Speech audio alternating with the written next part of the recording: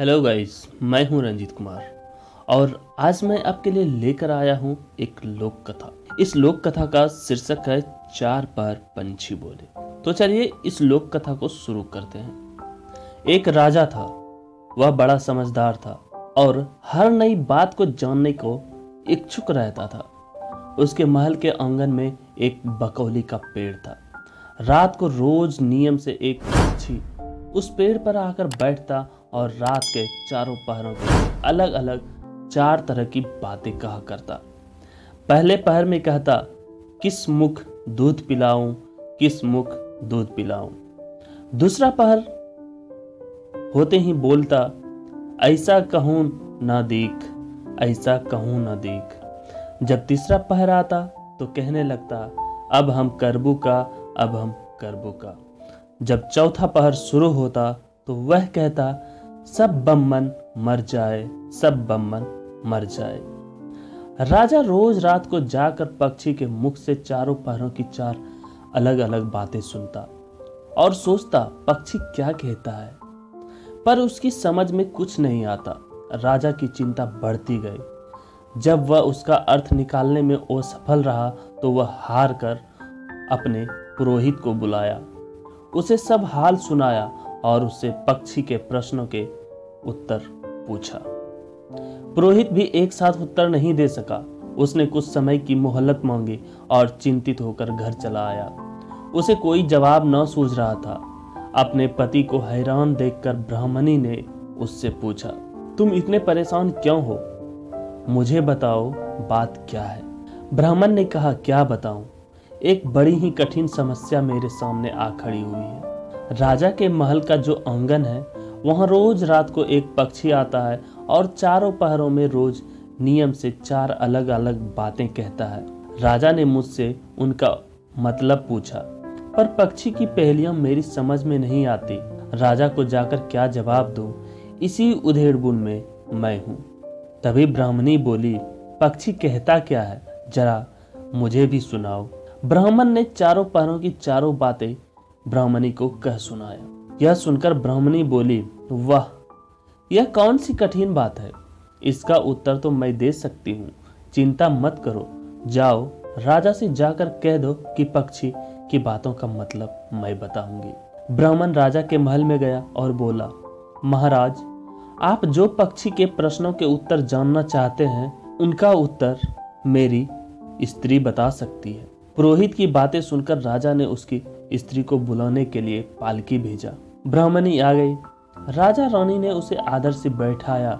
रात हुई तो पहले पहर पक्षी बोला, किस मुख दूध पिलाऊं? किस मुख दूध पिलाऊं? राजा ने कहा, पंडिताई, सुन रही हो ना? पक्षी क्या बोलता है? वह बोली हाँ महाराज, सुन रही हूँ। वह अधकट बात कहता है। राजा ने पूछा, अधकट बात कैसी? पंडिताइन ने उत्तर दिया, राजन, सुनो, पूरी बात इस प्रकार है। लंका में रावण भयो बीस भुजा दस शीस, माताओं जा कहे, किस मुख दूध पिलाऊं, किस मुख दूध पिलाऊं। अर्थात लंका में रावण ने जन्म लिया। उसकी बीस भुजाएँ हैं और दस शीश हैं। उसकी माता कहती है कि उसे, उसके कौन से मुख से दूध पिलाऊं, कौन से मुख में दूध पिलाऊं। राजा बोला, बहुत ठीक बहुत ठीक, तुमने सही अर्थ लगा लिया। दूसरा पहर हुआ तो पक्षी फिर कहने लगा, ऐसे कहूँ न देख ऐसे कहूँ न देख। राजा बोला, पंडिताइन, इसका अर्थ क्या है? पंडिताइन ने समझाया, महाराज, सुनो, पक्षी बोलता है घर जम नवदीप, बिना चिंता को आदमी, ऐसे कहूँ न देख, ऐसे कहूँ न देख। अर्थात चारों दिशा, सारी पृथ्वी, नवखंड, सभी छान डालो, पर बिना चिंता का आदमी नहीं मिलेगा।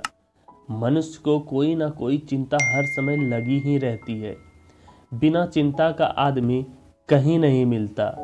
कहिए महाराज, सच है या नहीं? राजा बोला, तुम ठीक कहती हो।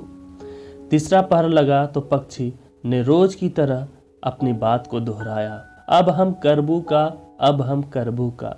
पंडितायन राजा से बोली, महाराज, इसका अर्थ भी मैं आपको बतला देती हूँ। सुनिए, पाँच वर्ष की कन्या साठे दई बिहाय बैठी करम विसूरती, अब हम करबू का, अब हम करबू का। पाँच वर्ष की कन्या को अगर साठ साल के बूढ़े के गले बाँध दे तो बेचारी अपना कर्म पीट कर यही तो कहेगी। अब हम करबू का, अब हम करबू का।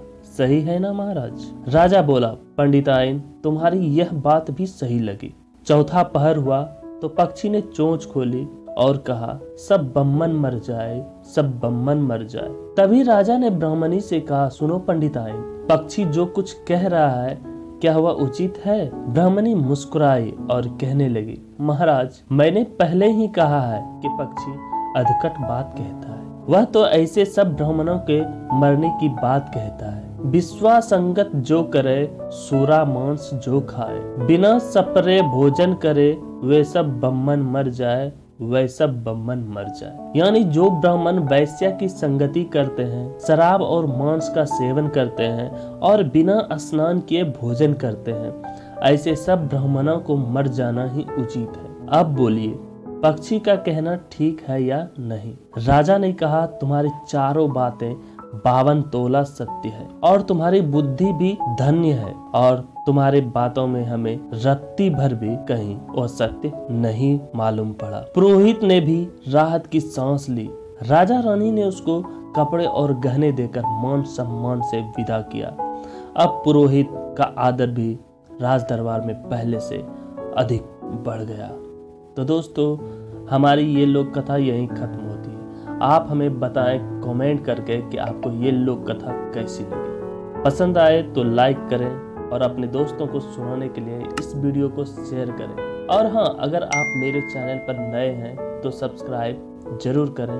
और हाँ बेल आइकन प्रेस करना ना भूलें। धन्यवाद।